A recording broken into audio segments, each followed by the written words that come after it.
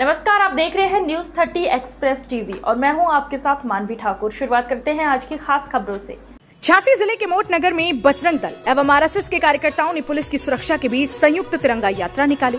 दोपहर करीब चार बजे आरएसएस एवं बजरंग दल के कार्यकर्ता हाथों में तिरंगा लेकर कुम्हरार रोड के नज़दीक बने पेट्रोल पंप पर एकत्रित हुए। पुलिस की सुरक्षा में ये यात्रा कत्तारबद्ध होकर कुम्हरार रोड से नगर में झंडा ऊँचा रहे हमारा गीतों तथा भारत माता की जय के नारों के साथ लोगों के हाथों में तिरंगे झंडे ने यात्रा को भव्य रूप प्रदान कर दिया। नगर ऐसी होते हुए ये यात्रा समथर तिराहे पर राष्ट्रीय गीत वंदे मातरम के साथ संपन्न हुई। उक्त संगठनों के पदाधिकारियों ने यात्रा का उद्देश्य समाज में राष्ट्रीय भावना को प्राथमिकता देना बताया है।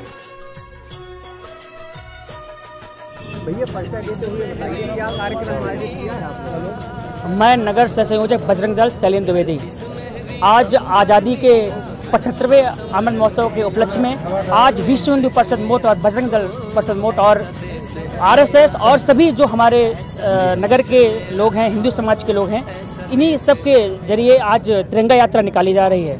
क्या संदेश दे रहे हैं आप लोग? संदेश ये देना देना चाह रहे हैं कि जो राष्ट्र विरोधी लोग हैं राष्ट्र विरोधी संगठन हैं उनसे हम निवेदन करना चाहते हैं कि जो भारत में रहते हैं तो भारत का ही गान करें भारत का ही गुणगान करें। यही हम सबको सबको संदेश देना चाहते हैं। आज हमारे साथ में जिला उपाध्यक्ष विश्व हिंदू परिषद हमारे जिला सेवा प्रमुख, हमारे प्रखंड मंत्री, हमारे नगर संयोजक, हमारे खंड सारे प्रमुख, हमारे खंड प्रमुख, हमारे नगर अध्यक्ष और भी पदाधिकारी हम लोगों के साथ सम्मिलित रहे।